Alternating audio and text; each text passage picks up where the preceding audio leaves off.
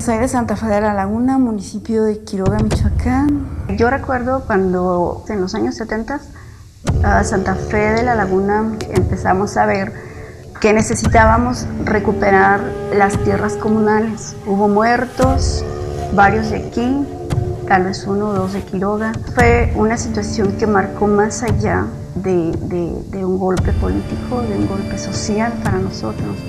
Tenemos en la comunidad varios problemas sobre salud, vivienda, educación y me gustaría que estos problemas se resolvieran, pero no tenemos apoyo de las autoridades en México.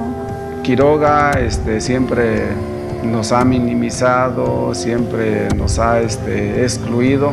Cada vez que se solicitaron los apoyos ahí en el ayuntamiento, pues nos, nos dieron cualquier cosa. Entonces a partir de ahí es, se da la necesidad de, de dar la pelea por, por obtener el recurso completo que nos corresponde. Nosotros formamos parte del colectivo Emancipaciones, que es un colectivo de abogados militantes que ha ayudado a distintas comunidades indígenas como Cherán, Pichátaro, San Felipe de los Herreros, en juicios todos vinculados con el derecho de autonomía, autogobierno y libre determinación.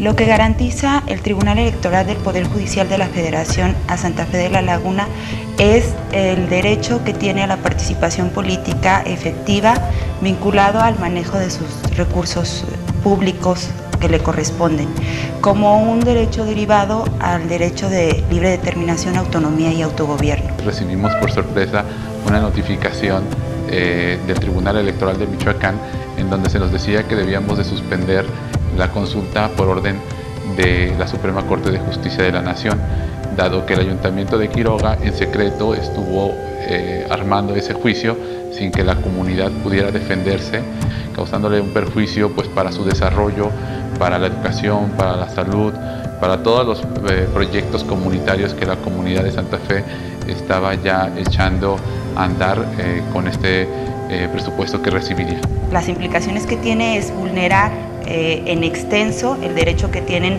todas las comunidades y sobre todo obstaculizar una vía judicial que había eh, ya sido conquistada por varias comunidades indígenas. Todos somos responsables de que los derechos humanos en México no retrocedan.